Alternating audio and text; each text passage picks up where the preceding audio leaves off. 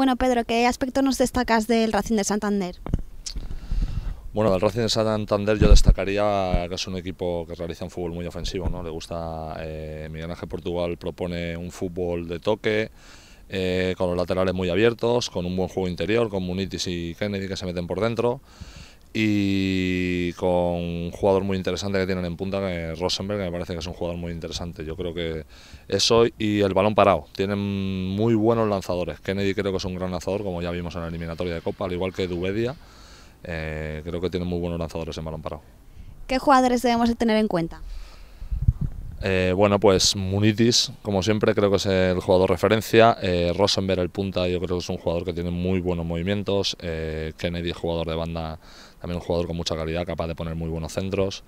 Colsa, todos sabemos ya que es un, un todoterreno, un jugador de medio campo que abarca mucho campo y realiza un despliegue físico muy importante.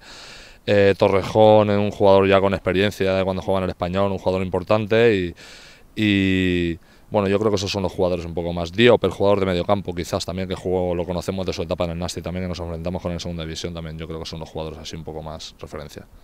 ¿Y qué armas utiliza el Racing de Santander?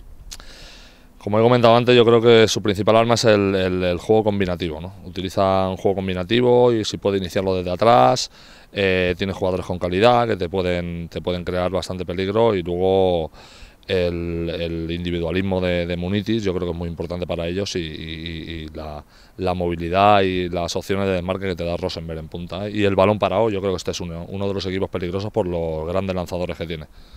Y por último, ¿qué jugador nos destacas como el crack?